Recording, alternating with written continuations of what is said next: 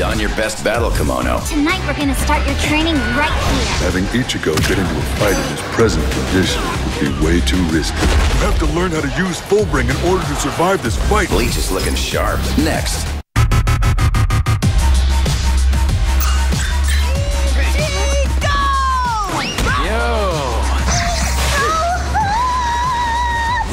Is vital that you keep Ichigo from fighting anymore. Who the hell are you people? What'd you say?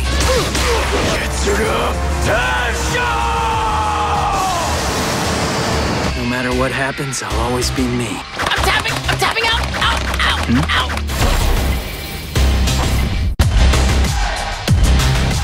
Follow that hollow. Let me kill you already! This running won't get me anywhere. Stop! Bleach continues after this.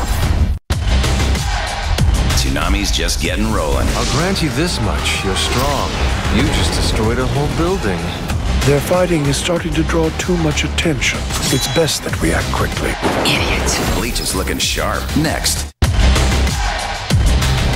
Follow that hollow. What exactly do you think you're doing, Shuhei?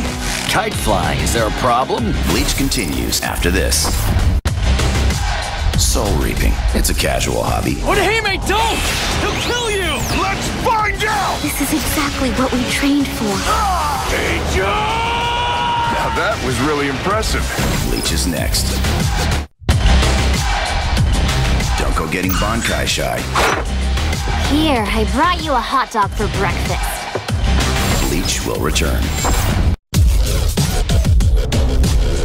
Dying Light, the new open world zombie killer from the Dead Island folks, is out.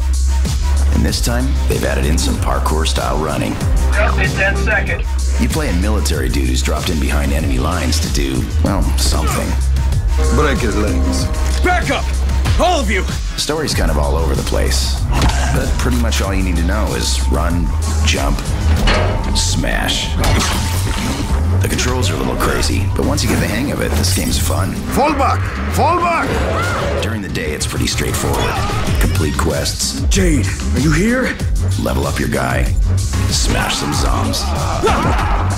During the night is where things get, you know,